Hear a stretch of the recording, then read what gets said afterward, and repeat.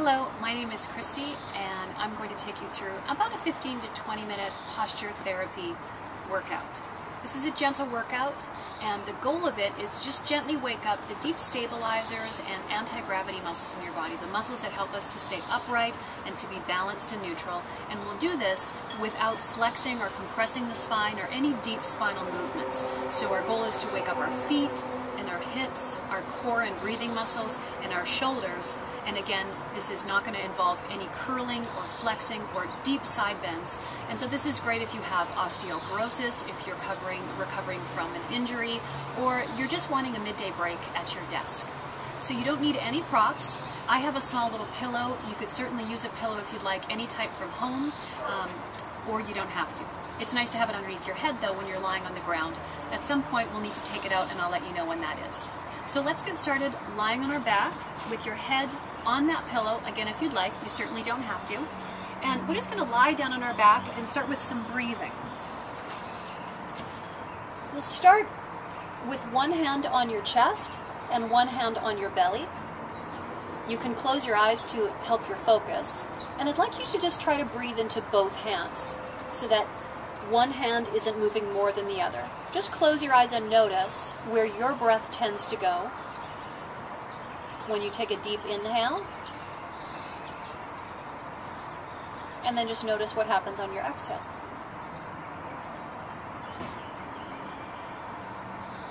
If you're filling up your chest hand more than your low belly hand, see if you can let your low belly move a little bit more. And vice versa, if your belly is moving but not your chest, let both of them move.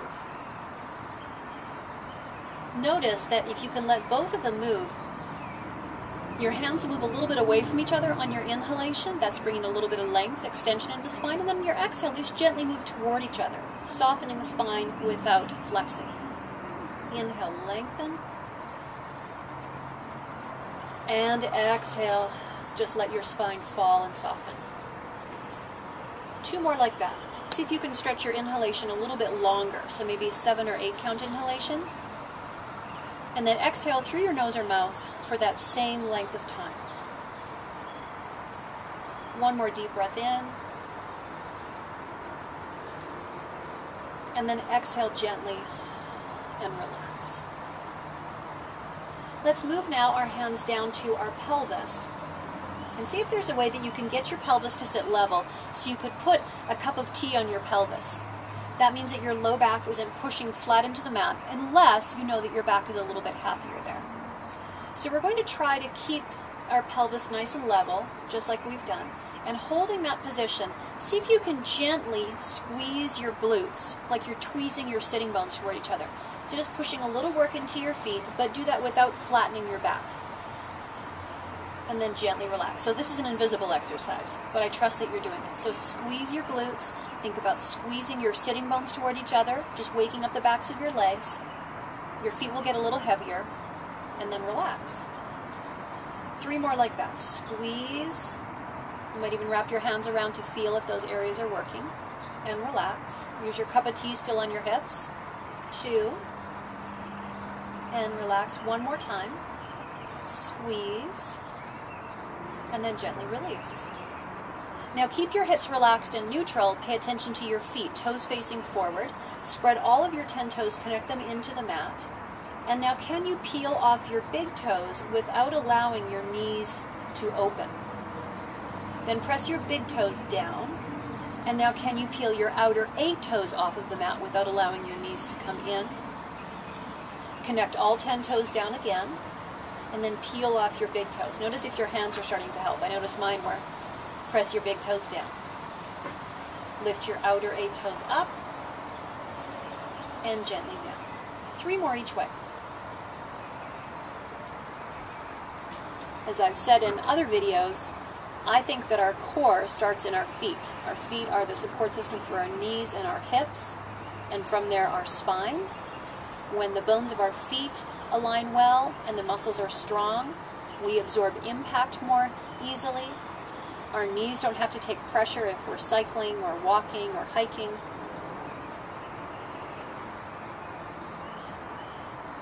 And one more time each way.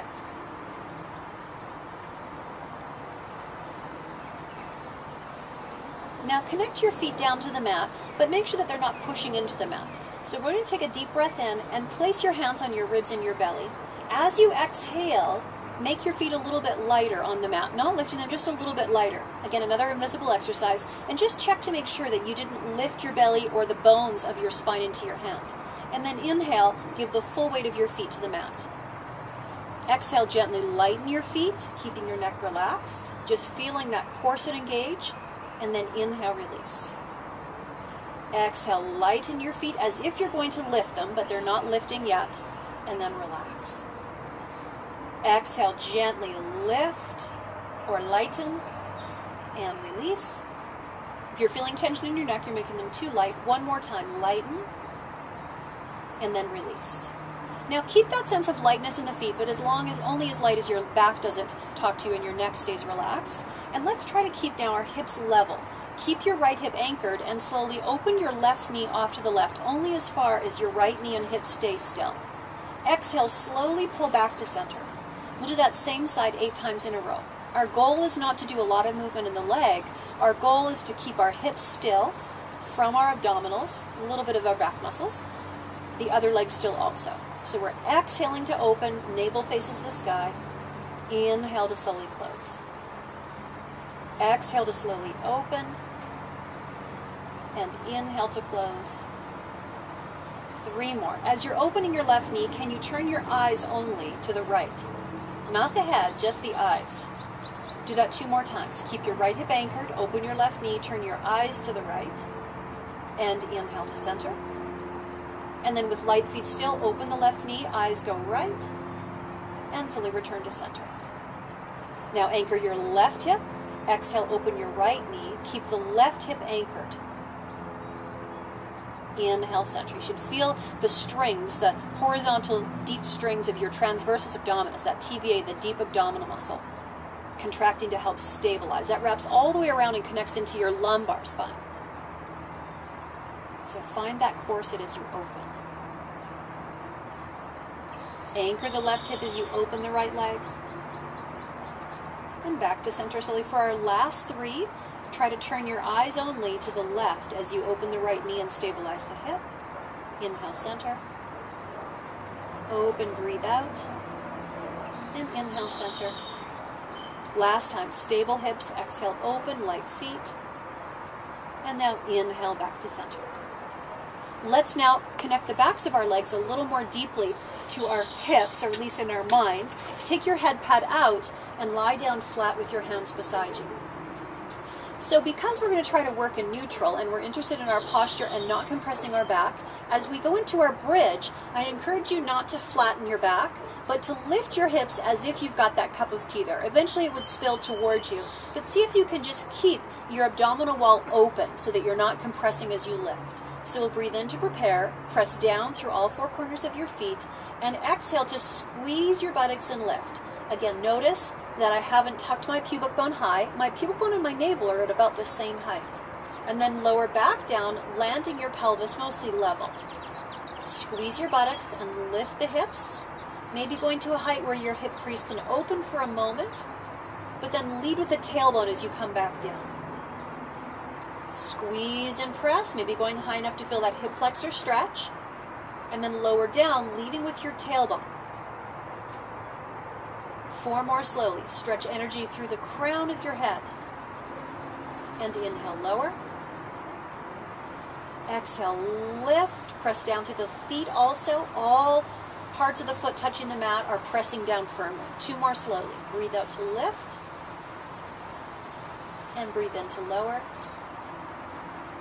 and exhale to slowly lift and inhale to slowly lower. Relax your hips, let your knees now come together and your feet come apart as you take your arms into what I call cactus. So your elbows are beside you, your palms are up to the sky. If your fingernails don't find the floor comfortably, lift your hands like I'm doing here off of the floor so just your elbows push down. Your elbows are in line with your shoulders, palms to the sky, your knees are just falling together. Try, if you can, to just work through your shoulder blades, the backs of the arms, the shoulder blades, back of the shoulder. And as you exhale, press your arms and fingernails into the floor. It's easy to do this and push your back up, but I want you to see if you can keep your back fairly soft and just work by pushing the arm bones down and the shoulder blades together, and then relax.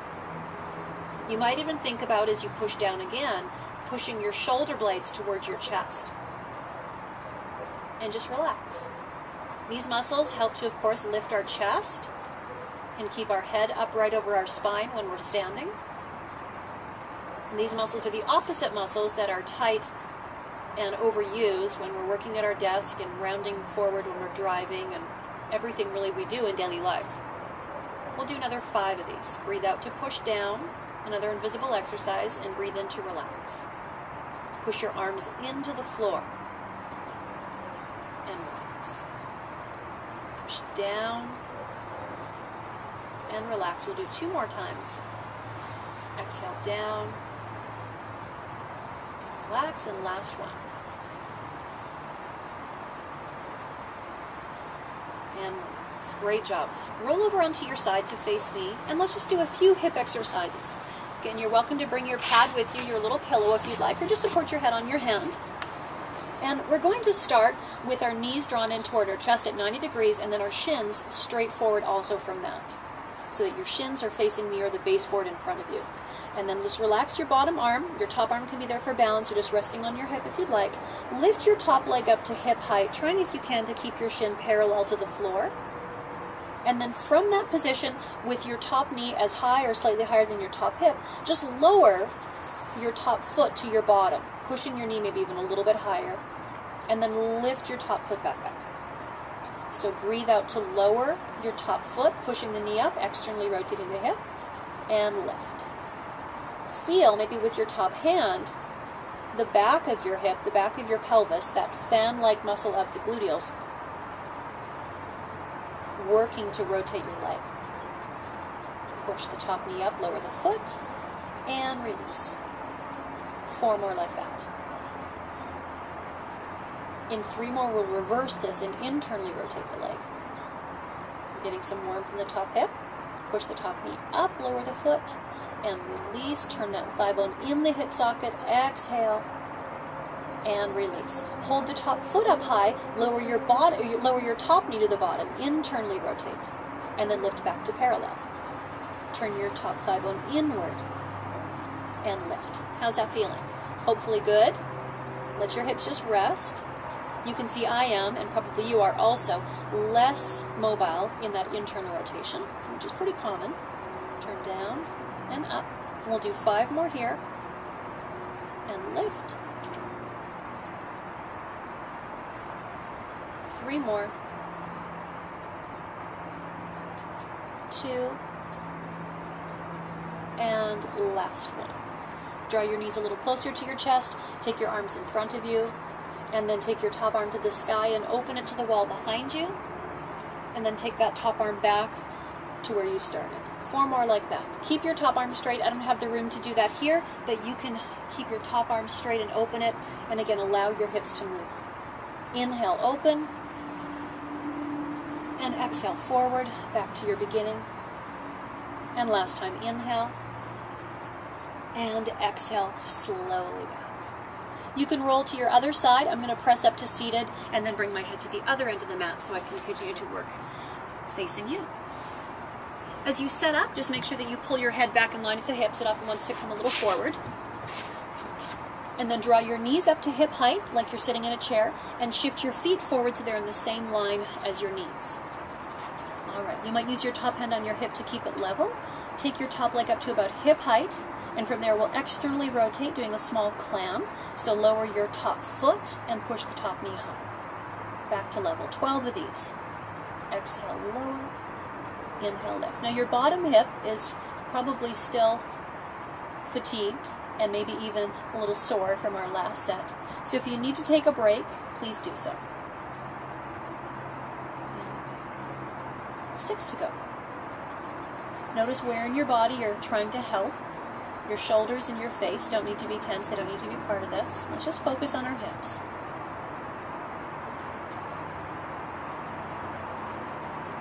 Two more slowly. Rotate and lift. One more than we internally rotate. and lift. Now hold the top foot high and lower your top knee down. Keep the foot lifted and then back to level. Top knee down, keep that foot up and back to level. So these hip muscles are so important for not only our hips, of course, and as a platform for our spine, but they help us to track our knees. Often, many knee problems that I see with my clients are not due to knee issues, but are related more to weakness around the hips or imbalance. Four more. Three. Two. And one. And when you're ready, relax all the way down. Palms together, let your shoulders relax. Inhale, top arm to the sky, and open your top arm chest toward the sky. And then exhale, top arm back to your start. Thoracic rotation. So as we're turning our chest, let your hips move if they need to so you don't pull on your SI joint. And exhale, return and relax home. Inhale, gently open. And exhale, gently return. And again, you can take your top arm to straight. I don't have the room to do that. Last one. Inhale, open. And then exhale. Great job. Gently return all the way. So from here, you're going to roll over onto your belly. You can use that same pillow underneath your forehead, or don't use any pillow at all. So lie now flat down on your belly, and then turn your head to the side. Reach down. This is a great opportunity for you to get in contact with your pubic bone, something everyone wants to do, right? Reach down above your pubic bone and just pull the flesh of your abdominals up so you can just firmly connect your pubic bone to the mat and so that your feet can connect also. Allow a little turn in of the leg bones. That helps us to keep some space on our, around our sacrum in the back of the pelvis. So we're going to stay in this position for a moment, let your arms come down beside you and your shoulders roll forward. And then if you feel like you've got the breathing space, turn your forehead flat down on your mat. I'm going to lift my head so I can talk to you, but I want you to keep your forehead flat down and center. So when you're ready, squeeze your shoulder blades together, hold the palms of your hands into your thighs, and we're going to stay here for 20 counts. So forehead down, pubic bone heavy, legs anchored, and you're just pinching your shoulder blades together and straightening your elbows. And holding work between the shoulder blades, these muscles, of course, related to our posture. Give another 10 seconds. And then relax and rest, turn your head to the side. Wiggle your hips around if you need. And we'll do that one more time. Turn your forehead down. Anchor your pubic bone by squeezing your buttocks. Lengthen your legs. Roll your shoulder blades back and down. Lengthen the elbows. And hold again for 20 counts.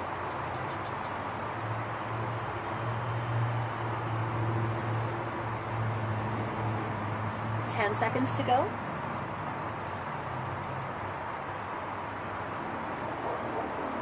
And then relax and release and just wiggle your hips around a little bit side to side. All right, if you're still okay lying here on your belly, we've got one more exercise related to our shoulder girdle and our rotator cuff. You're going to turn your forehead down again and take your arms into the cactus position, the same position we had when we were lying on our back. Keep your hips anchored, your forehead will stay down, and now slowly lift your arms off of the mat. Holding your arms lifted and your pubic bone down with your thumbs up high, can you just tap your elbows to the mat?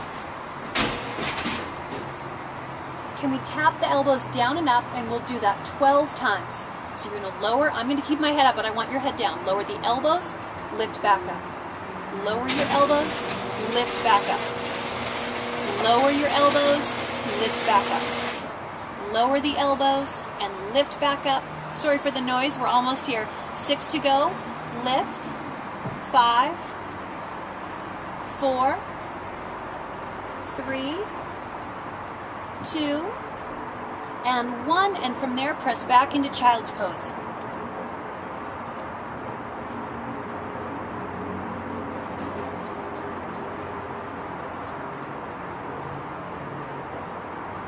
Let your back release and take a few deep breaths there.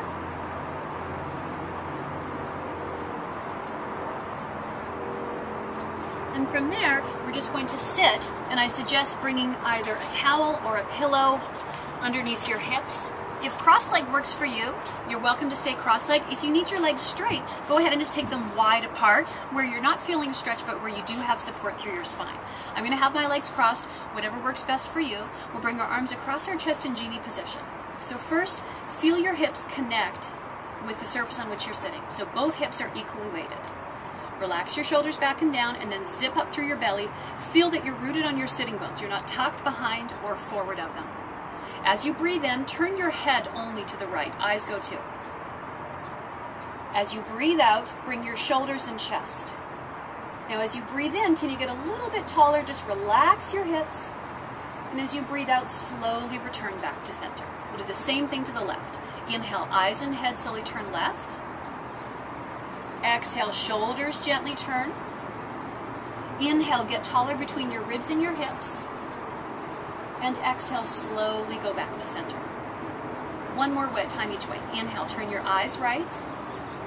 Exhale, corset your waist to turn your spine. Inhale, get taller. And exhale, slowly back to center. Last time. Inhale, left. Chest rotates. Exhale. Get taller, let the hips relax. And then slowly, gently come back to center. Great job. We're going to come off of that block and just take our legs into what we call in Pilates mermaid position. So send both of your legs to the left so that your left shin is facing the left side of the room and your right shin is forward. All right. Let's keep our elbows bent just to start, fingertips, temples, and if you want to lengthen the arms a little bit more, you can. So just soft arms either on your head or your temples. We're going to gently breathe into the left and then gently breathe out to the right. Inhale to the left. And exhale to the right. Feel free to lengthen the elbows if you'd like. So we're going to breathe in to the left and breathe out to the right. So this is a great exercise for getting a little space on the side of the waist where we can also get gripped, especially on one side. It's also a great position to train your legs to go into a little more internal rotation. That's the position your left leg is in right now, which we don't often get, but it's very healthy for the hip joint to balance it because we often have so much turn out. One more time each way. And then lengthen exhale to your left. Switch your legs. This time your left shin will be forward and your right shin is back. If you get cramps in your hip or your foot, it's a sign you probably need to do this a little bit more, but just back off the stretch and rest. All right, so start with soft elbows and we'll breathe in this time to the right and then breathe out to the left. And if you feel your knee, the right knee, just flex your foot. That often helps. Inhale and exhale. Feel free to lengthen a little bit more and support with your bottom arm if you'd like. Long inhalation into your left ribs, a long exhalation onto your right side. Inhale, lengthen. Notice that I'm not holding any of these stretches. I want to keep a dynamic stretch happening. Exhale, just so we're getting blood flowing in gentle space without pulling or tightening or causing more pain. And last one, exhale slowly, gently off to your side. Good work. When you're ready, we're going to gently come to center.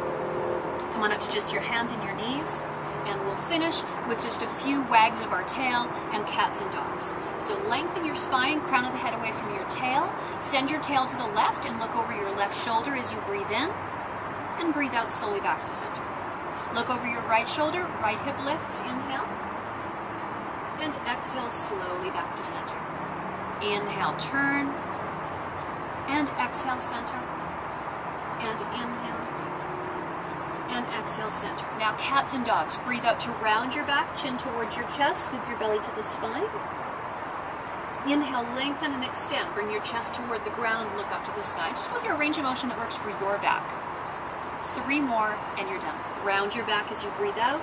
Shake out your head perhaps even. Gaze up, breathe in. Two more gently round. And extend. And last one, gently round and gently extend. Great job. I hope that you feel more awake in your postural muscles, and I look forward to seeing you next time. Thank you.